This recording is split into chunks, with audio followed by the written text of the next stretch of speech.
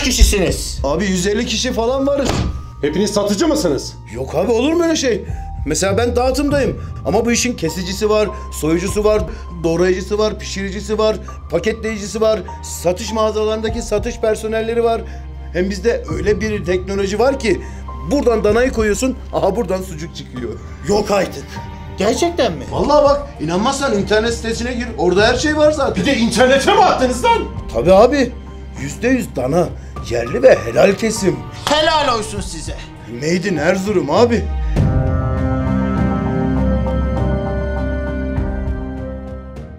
Farkı tadında, tadı damağında lezzet. Oral et.